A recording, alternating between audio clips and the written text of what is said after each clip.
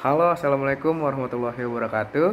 Perkenalkan, nama saya Ahmad Farhan Hakim Dari program studi Ilmu Komunikasi tahun 2020 Pada kali ini saya akan mempresentasikan tentang mini skripsi yang telah saya buat dengan judul Pengaruh iklim organisasi tentang kinerja anggota Badan Eksekutif Mahasiswa Program Studi Ilmu Komunikasi Universitas Negeri Jakarta pada periode 2022-2023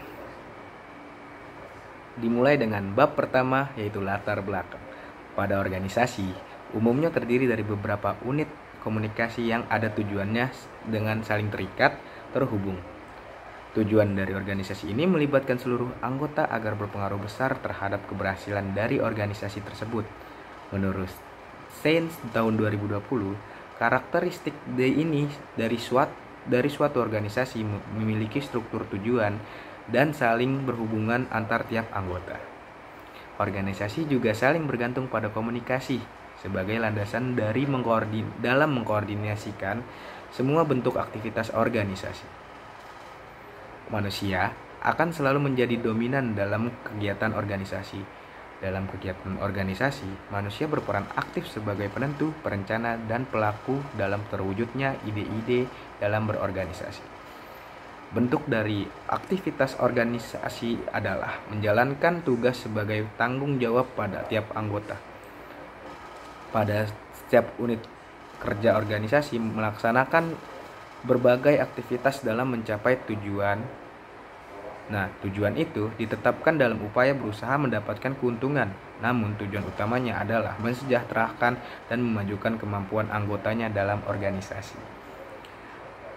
Mengatur waktu dalam antar anggota di memiliki tingkat kesulitan yang sangat tinggi. Jika tidak kecil kemungkinan, jadi jadi maaf, jadi tidak kecil kemungkinan menjadi masalah perbedaan pendapat dari tiap anggotanya. Hal ini dikarenakan setiap organisasi memiliki pikiran, perasaan, status keinginan dan latar belakang yang heterogen yang membedakan satu dengan yang lainnya. Maka dari itu, hadirnya peran pemimpin di dalam organisasi memiliki tujuan yang sangat penting. Tujuannya itu untuk uh, dapat mengelola atau mengontrol organisasi supaya berjalan dengan baik dan kontribusi sebagai roda berjalan yang sesuai dengan strategi, visi, dan misi, serta mencerminkan nilai-nilai yang ada di dalam organisasi tersebut. Kegiatan dalam membentuk pengertian, visi misi, dalam mencari pengalaman antar anggota organisasi merupakan kegiatan komunikasi di dalam suatu organisasi. Organisasi akan berjalan dengan lancar jika komunikasi yang diterapkan dengan baik. Begitu juga sebaliknya, jika tidak berjalan dengan baik, organisasi akan terpecah belah dan berantakan. Maka dari itu, keberhasilan berorganisasi yaitu pemimpin yang menjadi salah satu ujung tombak acuan suatu organisasi. Seperti di dalam Badan Eksekutif Mahasiswa Program Studi Ilmu Komunikasi atau yang sering disebut BEM IKOM. Pada tahun eh pada periode 2022-2003 ini, saat ini dipimpin oleh Rahma Azahra yang berasal dari mahasiswa Universitas Negeri Jakarta. BEM IKOM ini sudah berdiri sejak tahun 2018 dan pada periode sekarang ini memiliki 70 sekitar 70, 67 anggota aktif dari mahasiswa program studi ilmu komunikasi WIJ. Iklim iklim iklim komunikasi iklim organisasi menurut Fowles dan Pace dan Pace tahun 2020 merupakan suatu persepsi-persepsi gabungan e, mengenai bentuk peristiwa perilaku respon antar anggota, harapan konflik-konflik personal antar anggota dan kesempatan bagi pertumbuhan dalam organisasi dalam organisasi karena iklim dapat mempengaruhi uh, tiap anggota melalui aktivitas, kinerja, kualitas, hasil dan cara kerja unit kerja eh, cara kerja dalam unitnya. Peningkatan kinerja pada Bemikom uh, dapat terjadi ketika anggota diberi informasi yang di yang diperlukan untuk pekerjaan yang sesuai dengan peran karyawan ke dalam keseluruhan sistem yang digunakan dalam organisasi. Kinerja dalam kinerja memiliki arti sebagai catatan konsekuensi dari selama periode tertentu yang berkaitan dengan tugas atau aktivitas pekerjaan. Tujuan BEMIKOM juga sebagai pengukuran yang sebenarnya dilakukan mengetahui apakah ada penyimpangan atau kemajuan yang direncanakan dan untuk memotivasi tindakan e, untuk mencapai tujuan yang diharapkan. Seberapa jauh sasaran ini yang menghasilkan e, cerminan atau pencapaian kerja yang dapat dicapai dan sering kali dinyatakan dalam bentuk kinerja dan kinerja organisasi. Sajidah tahun 2014. Kinerja anggota BEMIKOM merupakan salah satu penentu tinggi rendahnya keberhasilan organisasi. Organisasi dapat menyatakan bermutu tinggi apabila pemimpin anggotanya secara profesional. Bekerja secara profesional. Profesional adalah tingkatan dalam memiliki kemampuan dan keahlian khusus dalam organisasi sehingga ia mampu melakukan tugas dan fungsinya terhadap perencanaan, pelaksanaan, pengelolaan, dan hubungan organisasi. Nah, masuk ke rumusan masalah. Setelah melihat berdasarkan latar belakang yang telah dijelaskan di atas, maka rumusan masalah yang akan dibahas dalam penelitian ini yaitu yang pertama, bagaimana iklim organisasi terhadap kinerja anggota Badan Eksekutif eh, Badan Eksekutif Mahasiswa Program Studi Ilmu Komunikasi Universitas Negeri Jakarta periode 2022-2023. Yang kedua, bagaimana kinerja anggota Badan Eksekutif Mahasiswa Program Studi Ilmu Komunikasi Universitas Negeri Jakarta periode tahun 2022-2023. Dan yang terakhir, yang ketiga, Bagaimana pengaruh iklim organisasi terhadap kinerja anggota Badan Eksekutif Mahasiswa Program Studi Ilmu Komunikasi Universitas Negeri Jakarta periode 2022-2023. Nah, setelah rumusan masalah masuk ke tujuan penelitian. Dan setelah melihat dari latar belakang juga yang telah dijelaskan di atas, tujuan penelitian yang akan dibahas dalam penelitian ini yaitu yang pertama untuk mengetahui iklim organisasi terhadap kinerja anggota Badan Eksekutif Mahasiswa Program Studi Ilmu Komunikasi Universitas Negeri Jakarta periode tahun 2022-2023. Yang kedua, untuk mengetahui kinerja anggota Badan Eksekutif Mahasiswa Program Studi Ilmu Komunikasi Universitas Negeri Jakarta periode tahun 2022-2023. Yang ketiga, untuk mengetahui pengaruh iklim organisasi terhadap kinerja anggota Badan Eksekutif Mahasiswa Program Studi Ilmu Komunikasi Universitas Negeri Jakarta pada periode 22 2022 dan 2023. Masuk ke manfaat penelitian. Penelitian ini diharapkan mampu memberikan manfaat secara praktis dan secara teoritis. Uh, adapun masalah praktis terbagi menjadi dua dan masalah dan man, dan manfaat uh, teoritis terbagi menjadi empat poin. Uh, yang pertama uh, manfaat praktis poin pertama itu memberikan wawasan tentang bagaimana iklim organisasi terhadap kinerja anggota Badan Eksekutif Mahasiswa Program Studi Ilmu Komunikasi Universitas Negeri Jakarta periode tahun 2022-2023. Yang kedua, menjelaskan faktor-faktor yang akan mempengaruhi kinerja Badan Eksekutif Mahasiswa organ uh, program studi Ilmu Komunikasi Universitas Negeri Jakarta periode 2022-2023. Nah, kita masuk ke manfaat teoritis. Yang pertama, menambahkan kajian dalam bidang ilmu komunikasi khususnya mengenai bagaimana iklim organisasi terhadap kinerja anggota Badan Eksekutif Program Studi Ilmu Komunikasi Universitas Negeri Jakarta periode tahun 2022-2023. Menjelaskan konsep-konsep penting yang berkaitan dengan iklim organisasi dari segi kegiatan atau kinerja dari organisasi BEMIKOM itu sendiri. Yang ketiga, menjadi referensi bagi peneliti atau mahasiswa yang terikat pada eh, yang terikat untuk mencari kegiatan atau pengalaman untuk berorganisasi. Yang keempat, mendukung universitas dan perguruan tinggi dalam memperluas pandangan dan kajian di bidang ilmu komunikasi dan pengembangan ilmu pengetahuan pada umumnya masuk ke pembahasan bab 2 yaitu landasan teori.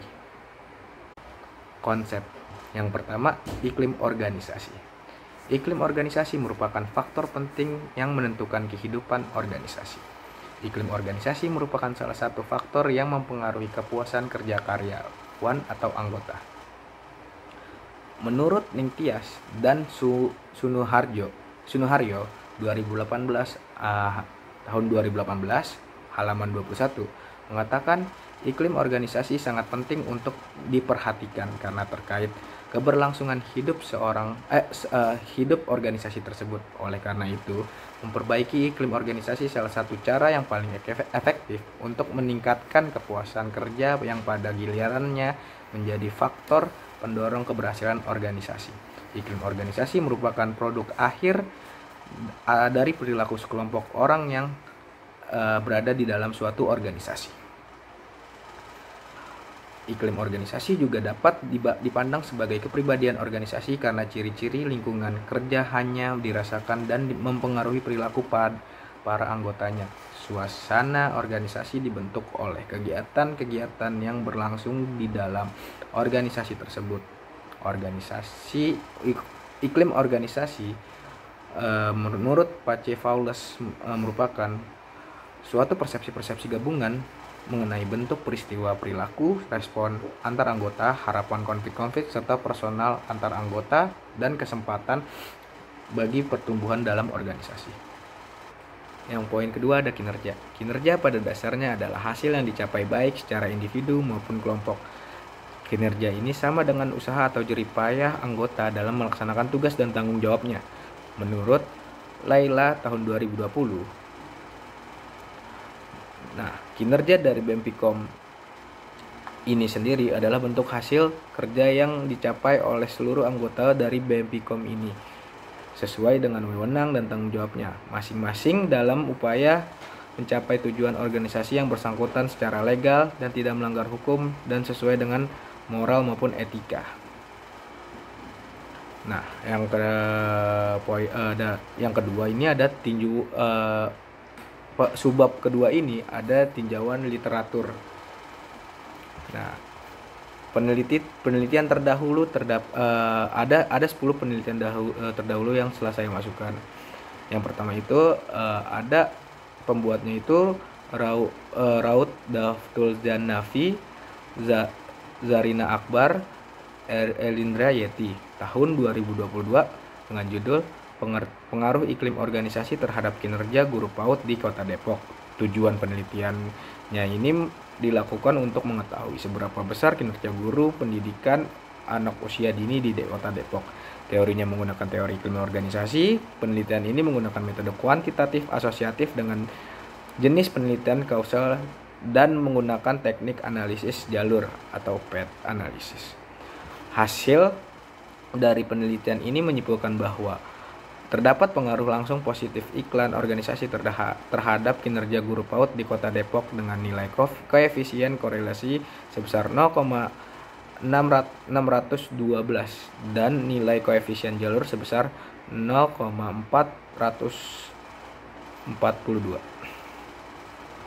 Perbedaan dan persamaan ini terletak pada objeknya, persamaan terletak pada variabel X dan Y.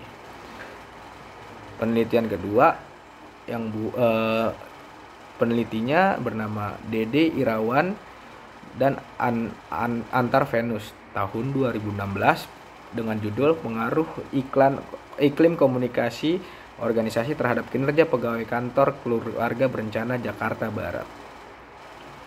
Tujuannya ini uh, untuk mengetahui besar pengaruh iklim komunikasi organisasi yang terdiri dari kepercayaan, partisipasi dalam pembuatan keputusan, kejujuran, keterbukaan, komunikasi kepada pegawainya, mendengarkan dalam komunikasi dari pegawai dan memperhatikan tujuan kinerja pegawai yang tinggi terhadap kinerja pegawai di kantor keluarga berencana di kota administrasi Jakarta. Teorinya ini menggunakan teori iklim organisasi, Penelitian menggunakan metode survei eksplanatori yang bertujuan untuk menjelaskan hubungan sebab akibat di antara variabel-variabel penelitian dengan pengujian statistik infer inferensial analisis jalur. Hasil penelitian ini menunjukkan bahwa pengaruh iklim komunikasi iklim iklim komunikasi organisasi terhadap kinerja pegawai adalah sebesar 82,1 persen, sedangkan sisanya sebesar 17,9 persen dipengaruhi oleh variabel lain yang tidak diteliti dalam penelitian ini. Perbedaannya terletak pada objek, persamaan terletak pada variabel X dan Y. Penelitian penelitian ketiga yaitu Putri Fadilah A, Putri Fadilah A. Smith, Nurjannah pada tahun 2019 pengaruh iklim or komunikasi organisasi terhadap kinerja karyawan analisis C-square. Tujuan dari penelitian ini mengetahui pengaruh iklim organisasi terhadap kinerja karyawan. Teorinya menggunakan teori iklim organisasi. Penelitian ini menggunakan jenis penelitian kuantitatif verifikatif yang di mana menggunakan teknik analisis C-square. Hasil penelitian ini menunjukkan bahwa 36 karyawan membutuhkan iklim organisasi untuk mempengaruhi kinerja sehingga menimbulkan peningkatan. Perbedaannya terletak pada objek, persamaan terletak pada variabel X dan Y. Penelitian keempat bernama Cher, uh, Christine Cheryl eh Christine Sally Karendeng tahun 2022 da, tahun 2013 dengan judul Pengaruh Iklim Organisasi Terhadap Kinerja Karyawan pada PT Taspen Persero cabang Manado. Tujuannya tujuannya uh, yang akan dicapai di mana kerjasama pemimpin dan uh, orang yang dipimpin dapat melaksanakan tugas maupun fungsi-fungsi dalam struktur di lingkungan organisasi yang ada. Teorinya menggunakan teori iklim organisasi, pengumpulan data dengan mengumpulkan instrumen berupa kuesioner atau wawancara observasi dan studi dokumen dan untuk analisis data menggunakan metode kuantitatif.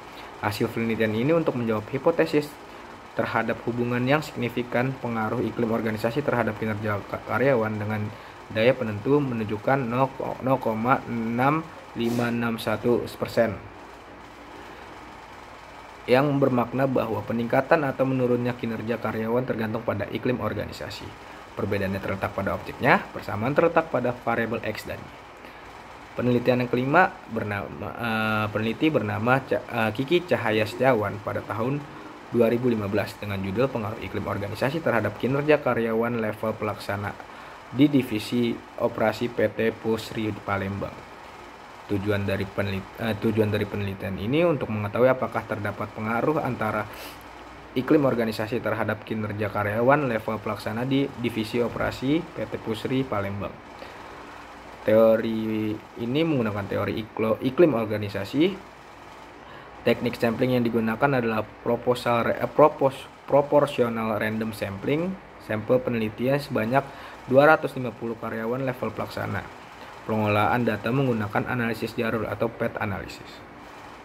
Hasil penelitian dapat disimpulkan bahwa terdapat pengaruh yang signifikan iklim organisasi terhadap kinerja pada PT eh, pada, pada karyawan level pelaksana divisi PT Puri Palembang berdasarkan temuan dalam uh, penelitian ini maka perlu diciptakan iklim organisasi yang menyenangkan bagi karyawan level pelaksana.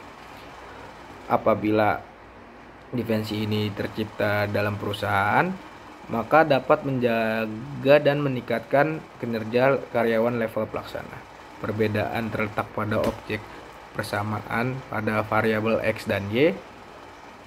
Dan yang keenam, uh, penelitian dengan peneliti bernama Hayatun Nufus tahun 2021 pengaruh iklim organisasi terhadap kinerja karyawan pada Alfamart di Bintaro. Penelitian ini bertujuan untuk mengetahui pengaruh iklim organisasi terhadap kinerja karyawan pada Alfamart di Bintaro. Teori yang digunakan teori iklim organisasi, metode yang digunakan adalah explo, explanatory research dengan sampel sebanyak 5 responden. Uh, teknik analisis menggunakan analisis statik dengan pengujian regresi, korelasi, determinasi, dan uji hipotesis. Hasil penelitian ini variabel iklim organisasi diperoleh dengan nilai rata-rata skor sebesar 5,7 5,726 eh, dengan kriteria baik variabel kinerja karyawan diperoleh dengan nilai rata-rata skor sebesar 5,779 dengan uh, kriteria baik iklim organisasi berpengaruh positif dan signifikan terhadap kinerja karyawan dengan nilai persamaan regresi Y sama dengan 17,765 tambah 0,699 X dan nilai koefisien korelasi 0,819 atau memiliki tingkat hubungan yang kuat dengan nilai determinasi sebesar 67% dan uji hipotesis ini signifikan dari 0,000 uh, lebih kecil 0,05.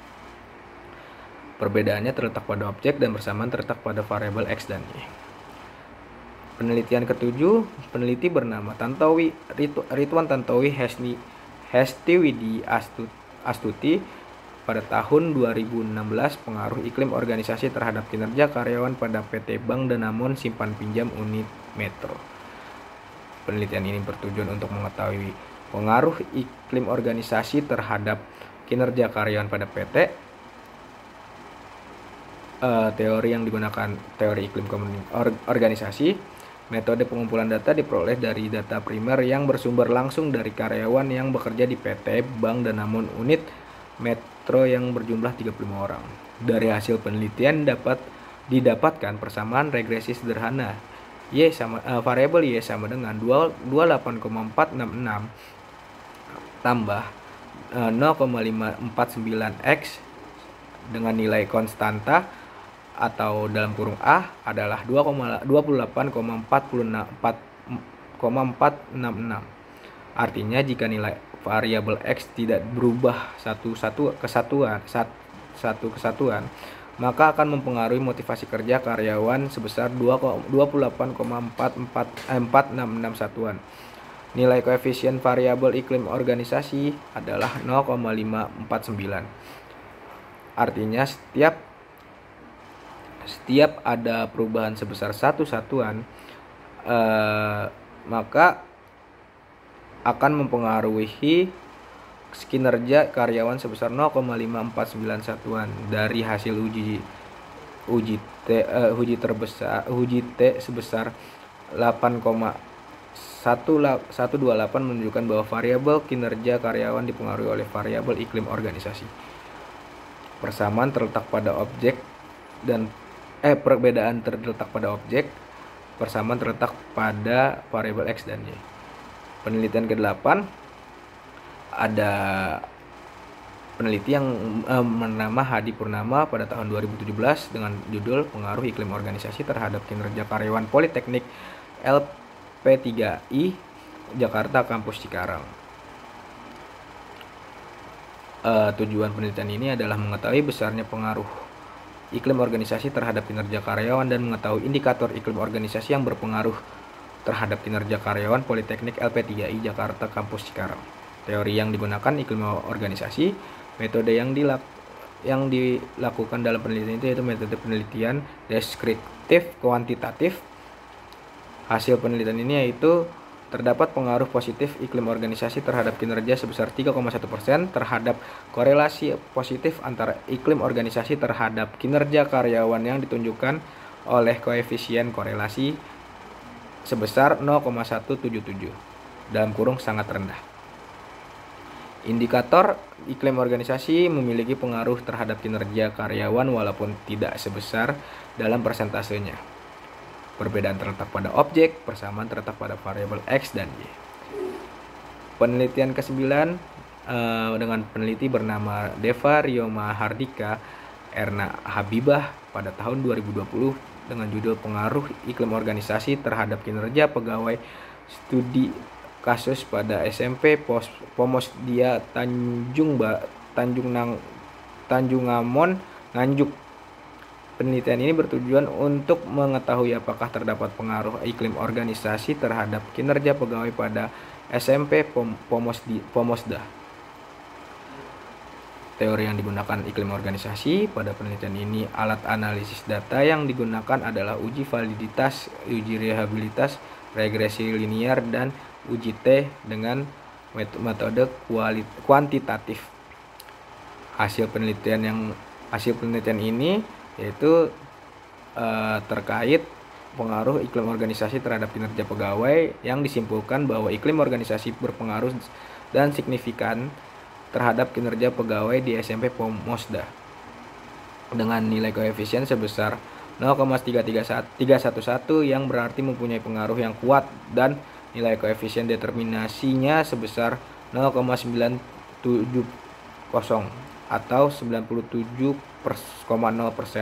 Persamaan yang didapatkan adalah y uh, variabel y sama dengan 12,780 tambah 0,319x yang artinya yaitu konstata sama dengan 12,7 uh, 12,780 apabila ik, iklim organisasi sama dengan 0 maka kinerja karyawan per, uh, pegawai sebesar 12,78 dengan koefisien regresi positif sebesar 0,319 Uh, jika iklim organisasi meningkat sebesar 3,19 maka kinerja akan meningkat sebesar uh, sama dengan uh,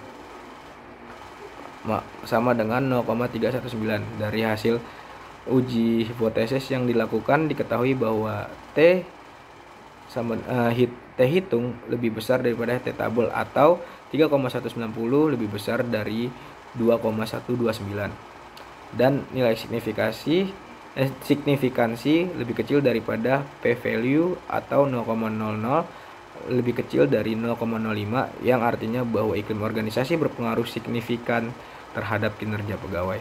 Perbedaan terletak pada objeknya dan persamaan terletak pada variabel x dan y. Yang terakhir, penelitian ke-10 dengan peneliti bernama Hati Laila 2022 pengaruh iklim organisasi terhadap kinerja pegawai di kantor camat Lahusa Kabupaten Nias Selatan. Tujuan penelitian ini berfokus pada dua variabel yaitu iklim organisasi dan kinerja pegawai yang bertujuan untuk mengetahui pengaruh iklim organisasi terhadap kinerja pegawai di kantor camat Lahu, Lahusa Kabupaten Nias Selatan. Teori yang digunakan iklim organisasi. Jenis penelitian ini adalah penelitian kuantitatif, metode analisis. Data yang digunakan adalah regresi linear sederhana. Hasil penelitian menunjukkan bahwa iklim organisasi berpengaruh signifikan terhadap kinerja pegawai dengan nilai T hitung 4,021 lebih besar T table 1,699 dan tingkat signifikan 0,000 lebih kecil daripada 0,5. Artinya variabel iklim organisasi berpengaruh terhadap kinerja pegawai. Hasil uji regresi linear Y sama dengan 14,619 tambah uh, eh, 0,718X. Maka koefisien regresi linear B sebesar 0,718. Artinya setiap kenaikan sebesar satu satuan pada iklim organisasi maka kinerja pegawai akan mengalami kenaikan sebesar 0,718 satuan. Perbedaan terletak pada objeknya dan persamaan terletak pada variabel x dan y.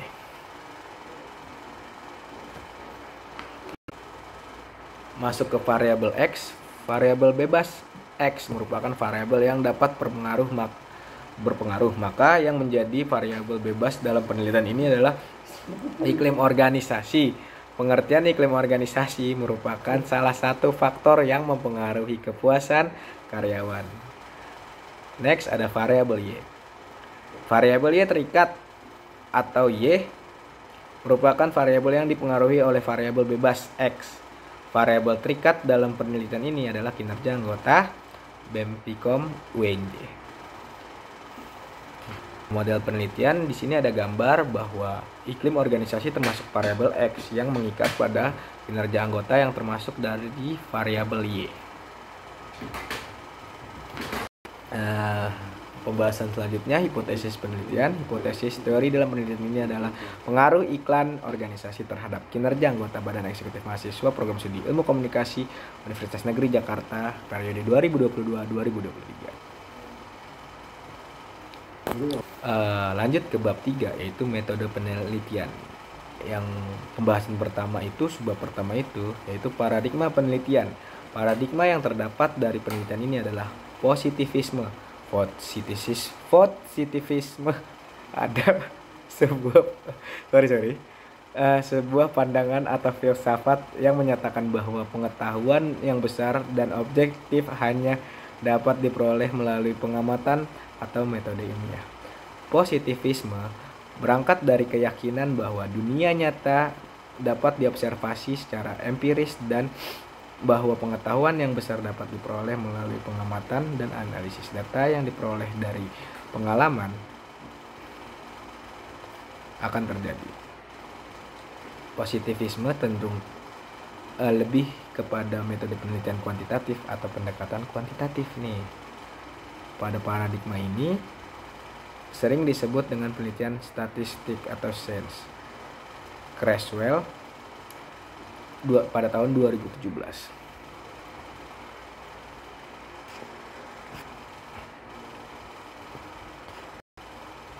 Nah, selanjutnya sebab kedua itu pendekatan penelitian.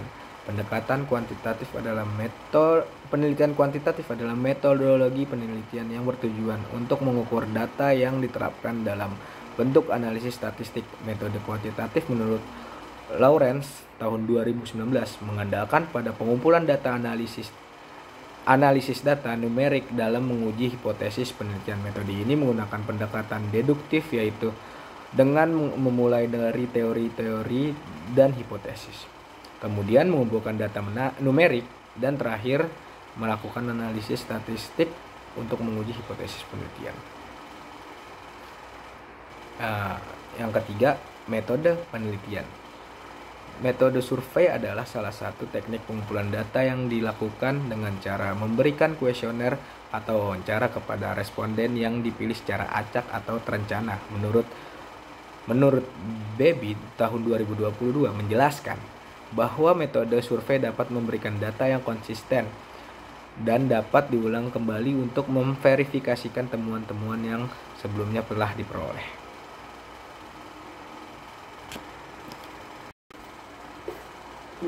Populasi dan sampel.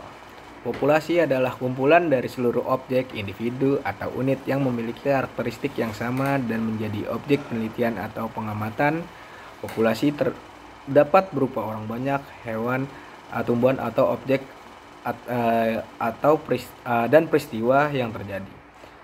Uh, sampel sampel merupakan sampel di sisi lain adalah bagian dari populasi yang diambil sebagai res presentasi dari seluruh populasi yang digunakan untuk mewakili karakteristik dan variabel dan variabilistik populasi secara umum dan sampel ini merupakan sub sub subab atau bagian kecil dari populasi yang dipilih secara acak atau terencana.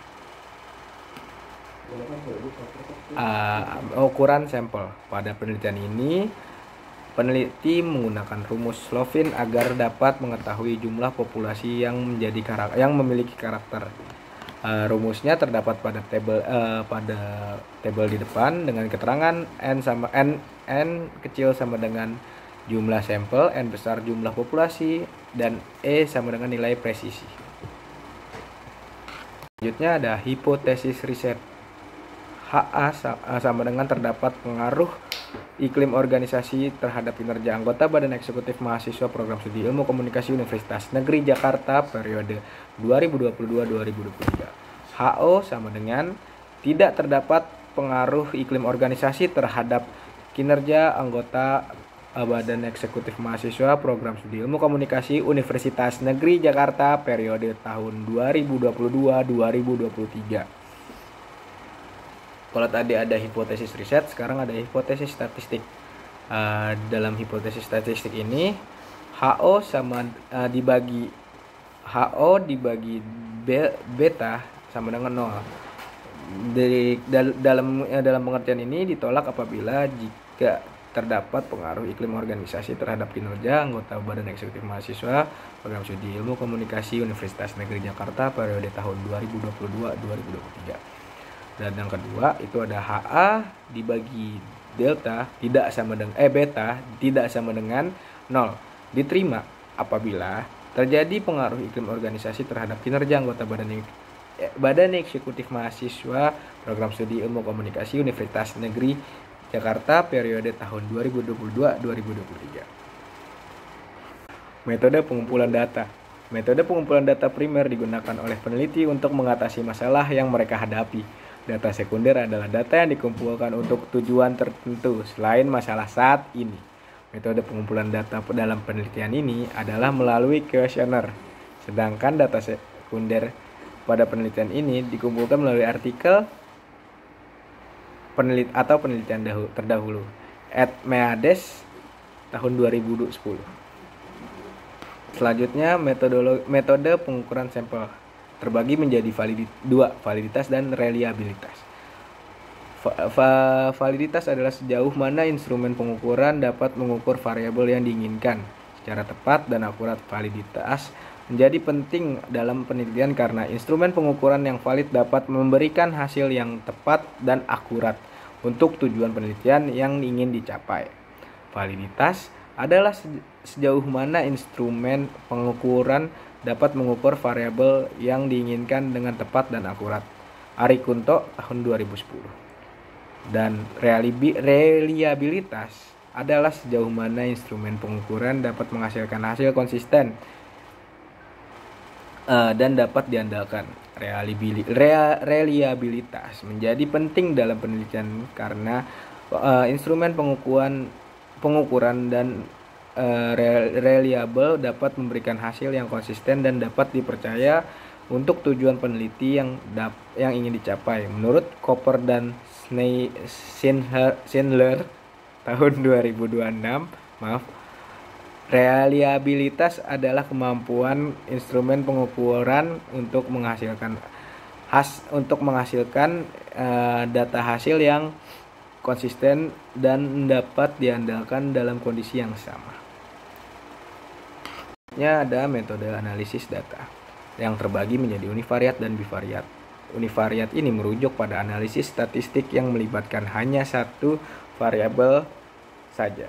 Menurut Daniel S. Yates, univariat adalah analisis statistik yang hanya melibatkan satu variabel dan tujuannya adalah untuk mengidentifikasi pola atau distribusi data untuk e, membuat kesimpulan berdasarkan informasi ini dan dalam analisis statistika ini, univariat sering digunakan sebagai langkah pertama dalam penelitian untuk memahami karakteristik dasar dari data yang diteliti.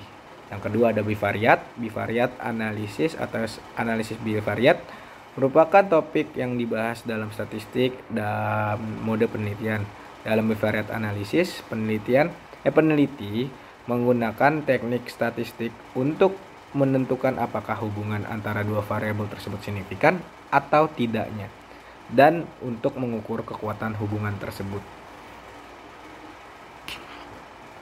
Uh, yang selanjutnya ada keterbatasan dan kelemahan penelitian. Penelitian memiliki keterbatasan dan kelemahan yang harus diperhatikan untuk memastikan validitas dan reliabilitas dari hasil penelitian. Kelemahan pada penelitian ini adalah keterbatasan waktu hal ini karena waktu uh, dan sumber daya da dapat uh, dapat membatasi kemampuan peneliti untuk melakukan penelitian yang lebih terperinci atau dengan sampel yang lebih besar. Selanjutnya definisi definisi operasional. Definisi operasional merujuk pada cara untuk mengukur atau mengoperasikan variabel dalam penelitian. Menurut Creswell tahun 2014, definisi operasional adalah cara untuk mengidentifikasikan atau mendefinisi uh, dengan uh, dengan cara mengukur konsep atau variabel yang diteliti dalam penelitian dengan memberikan deskripsi yang jelas dan spesifik. Dan yang terakhir ada operasional konsep. Operasional konsep merujuk pada proses mengubah konsep abstrak atau teori menjadi variabel yang dapat diukur diamati dalam penelitian. Proses ini juga melibatkan loh Pembuatan definisi operasional yang yang jelas dan spesifik untuk setiap variabel yang diteliti. Konsep operasional pada penelitian ini or, iklim organisasi. Konsep in, ini lalu dioperasionalkan menjadi iklim organisasi terhadap kinerja anggota. Sekian dari saya, kurang lebihnya mohon maaf. Assalamualaikum warahmatullahi wabarakatuh.